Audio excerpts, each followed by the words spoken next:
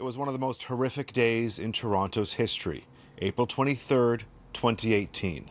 Alek Minassian drove a rented van down a Yonge Street sidewalk, killing 10 and injuring 16 others.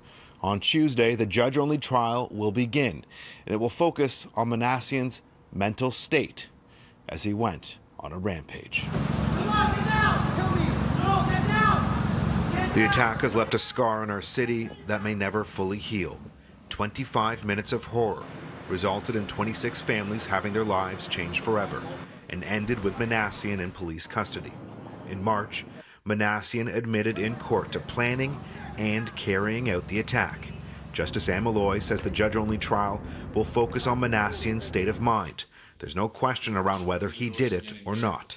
Defense attorney Kim Schofield says Minassian's legal team will have to try and prove that on that tragic afternoon, his mind wasn't able to comprehend the consequences of his actions.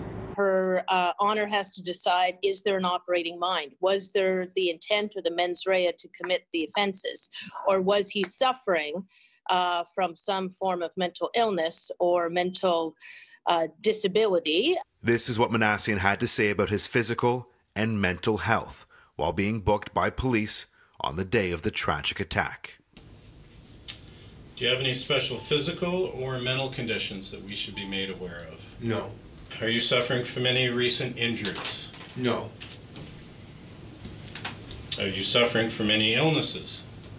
Yes, I'm a murdering piece of The pending case around Minassian's mental health has left the families of some victims, like Anne-Marie D'Amico's, feeling uneasy. We can't bring back my sister. We can't turn back the time and erase the events that happened. So right now it comes down to you can call it justice or you can call it protecting the rest of society from protecting those around us and those people in Toronto moving forward.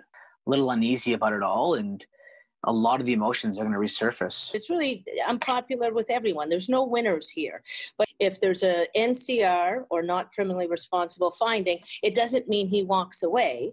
It means psychiatric hospitalization and potentially um, incarceration in a psychiatric facility. Because of COVID restrictions, the trial is going to be held virtually on Zoom. The judge, Minassian, lawyers, and witnesses will all be in different places. Victims, families, the media will also be attending on Zoom or at the Metro Toronto Convention Centre, where the public is also welcome to watch. I'm Adrian Ghobrial for City News.